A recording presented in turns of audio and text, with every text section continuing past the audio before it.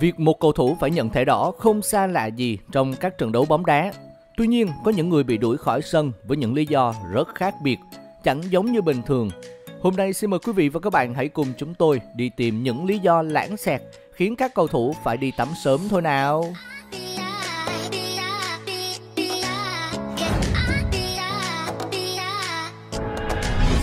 Tình huống ăn vạ quá khéo léo của tiền đạo Johan Elmander bên phía đội tuyển Thụy Điển đã khiến cho tiền đạo Marco Arnautovic của đội tuyển Áo đã phải nhận thẻ đỏ oan uổng từ trọng tài Kunet Kakir.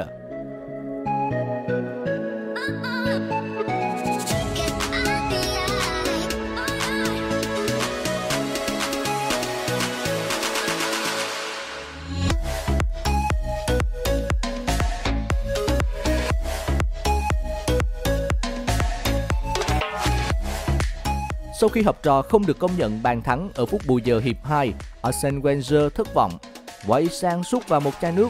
Hành động của ông hoàn toàn vô hại.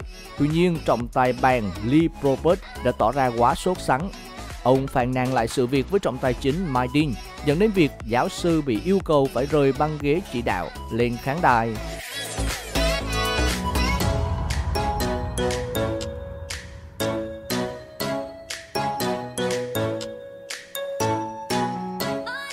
Trận đấu kinh điển Hà Lan giữa Ajax và Feyenoord, tiền vệ Anthony bên phía Ajax tranh bóng quyết liệt với Luis Sinisterre, khiến anh ngã vật ra sân kêu gào.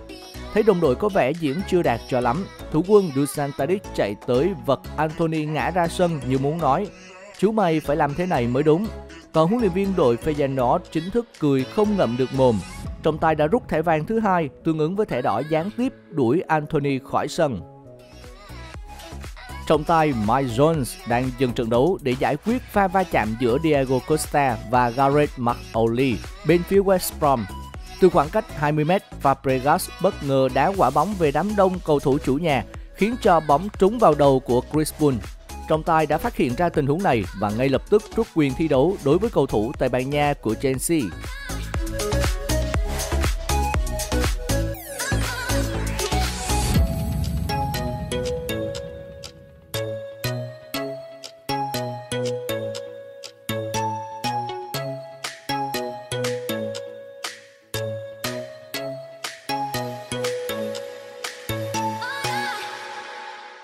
Không ai biết rõ tại sao tiền đạo Thụy Điển lại bị đuổi khỏi sân và bản thân anh tỏ ra bối rối về quyết định này.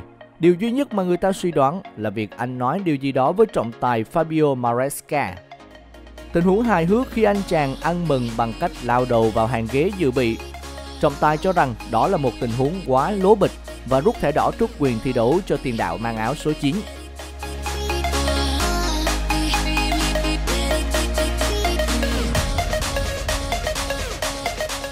Trọng tài Andre Mariner đã trút quyền thi đấu của hậu vệ Kieran Gibbs thay vì thủ phạm thực sự Alex Oxlade-Chamberlain sau một tình huống dùng tay chơi bóng trong trận Chelsea-Arsenal.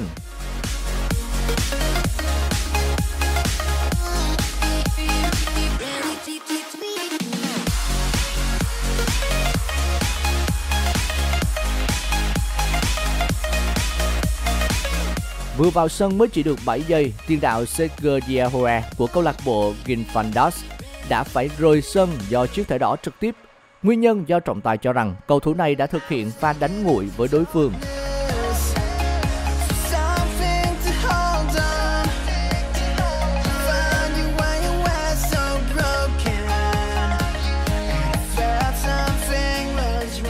Rafael đã phải nhận thẻ đỏ trực tiếp cuối trận đấu giữa MU và Chelsea sau pha phạm lỗi từ phía sau với David Luiz. Điểm nhấn trong tình huống này là điệu cười của hậu vệ Chelsea.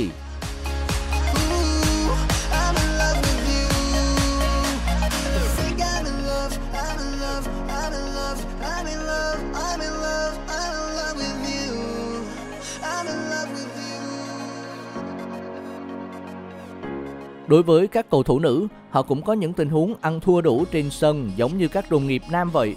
Trong trận đấu giữa Arsenal và Tottenham, cầu thủ Maccabi của pháo thủ đã không thể mà giữ được bình tĩnh và định lao vào đối phương trong tình huống này và mỗi người đều phải nhận một chiếc thẻ vàng.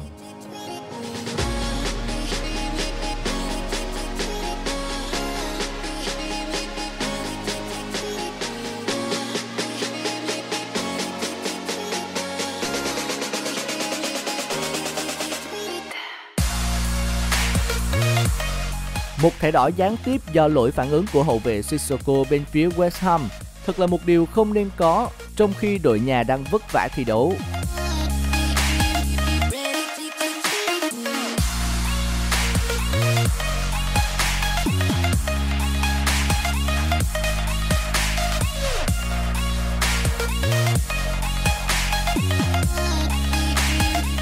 Chiếc thẻ đỏ được trọng tài rút ra rất dứt khoát trong tình huống phản công của các cầu thủ Chelsea là Sam Kerr đã có pha thoát xuống rất nhanh, mở ra cơ hội ăn bàn. Tuy nhiên thủ môn bên phía MU đã truy cản trái phép, chấp nhận án phạt nặng nhất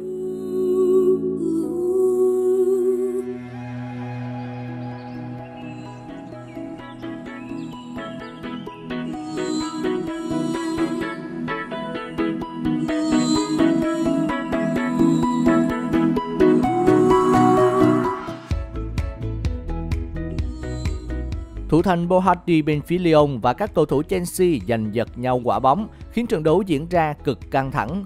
Trọng tài vào cuộc và rút ra hai thẻ vàng để hạ nhiệt những chiếc đầu nóng.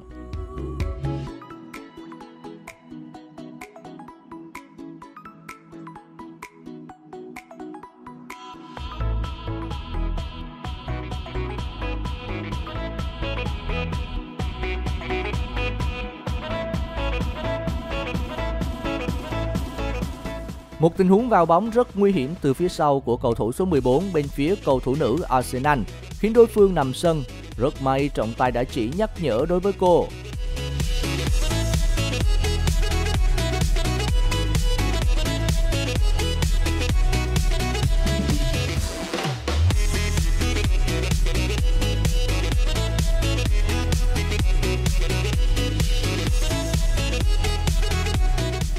Vừa rồi là tổng hợp những thẻ đỏ hài hước và những tình huống va chạm trên sân của các cầu thủ bóng đá nam và nữ. Cảm ơn các bạn đã quan tâm theo dõi. Đừng quên ấn like và subscribe cho kênh chúng mình nha. Xin chào!